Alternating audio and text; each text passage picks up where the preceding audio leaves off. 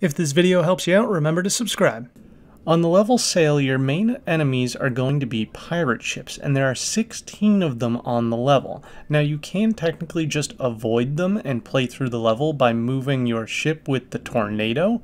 However, for this achievement, we need to destroy all 16 pirate ships. So what I recommend doing is leaving your ship at the dock, don't even bring it out into the ocean yet, and instead just go and hunt down all those pirates.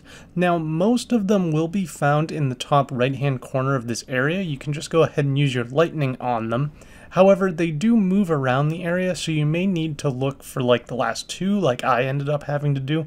But like I mentioned, there are 16 of them in total. As soon as you destroy the last one, you will get your achievement.